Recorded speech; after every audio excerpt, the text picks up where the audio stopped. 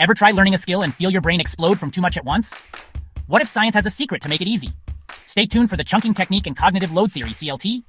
CLT says our brain can only handle 4 to 7 bits of info at once, while the chunking technique breaks skills into tiny chunks to master one at a time to keep us sharp and learning fast. Science time.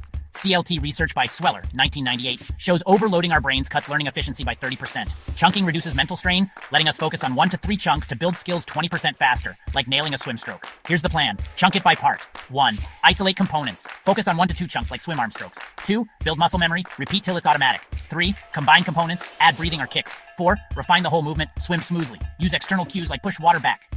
Pro tip, use a pull buoy to isolate arms and cut brain overload. Meet Alex struggling with freestyle as he tries everything at once, total mess. Using chunking, he isolates arm strokes, builds muscle memory, adds breathing, and refines it all. In days, he's gliding like a pro. The chunking technique and CLT let us master skills by chunking one to three parts without brain overload. What skill will you chunk up next? Drop it in the comments for more hacks.